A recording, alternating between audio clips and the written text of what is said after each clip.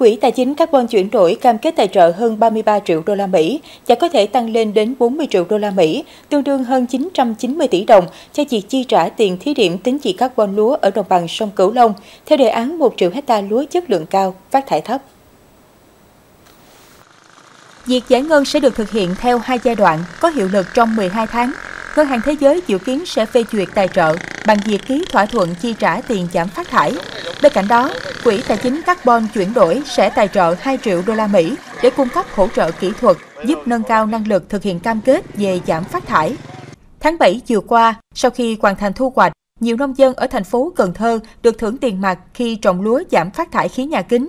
Hiện 12 trên 13 tỉnh thành đồng bằng sông Cửu Long đã có kế hoạch sản xuất theo đề án 1 triệu hecta, trong đó có Đồng Tháp.